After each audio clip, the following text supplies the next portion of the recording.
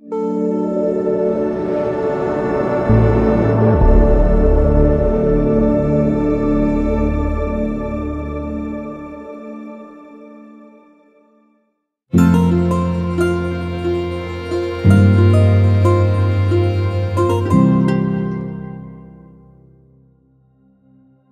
you know, this is the way it's going to be until all hell breaks loose on the horizon of those who know no better.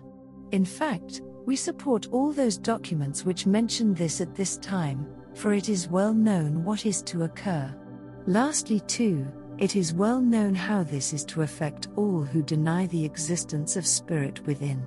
It is seen denial at its best taking shape, and that too is an equanimous statement regarding all who know no better than to deny the allegoricon within.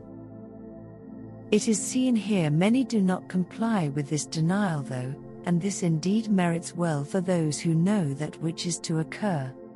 At the outset, we warned of this situation, and now, brewing before you are accolades to spirit, left behind all whose sole charge remains with those who cannot count, intrinsically so.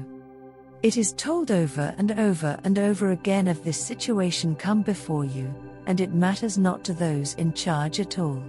As a matter of fact, equally seen are those who fluctuate between knowing and anticipating between those forces of being, seen here detrimentally perched between a rock and a hard place, by which we mean to say, watch and see who gives up betwixt all conflict going forward.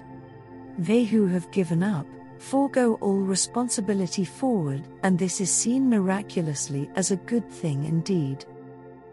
And this we remind you to continue forward with all senses intact and become that which you are destined to do.